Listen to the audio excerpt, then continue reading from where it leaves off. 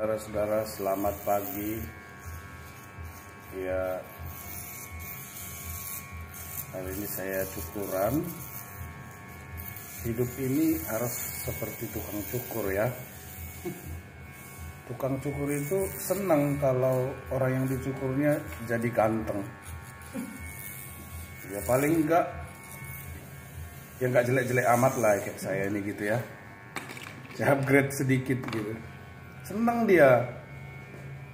Ya ada orang gitu yang udah suka kalau orang lain itu seneng ini bahayanya nih kita harus belajar dari tukang cukur nih. Happy aja dia. Ya kan? Seneng dia. Kalau kita jadi cakep jadi ganteng.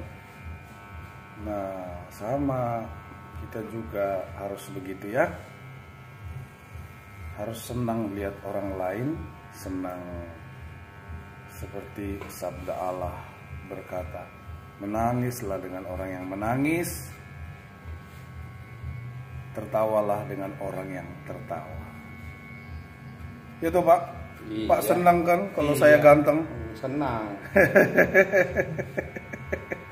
iya senang.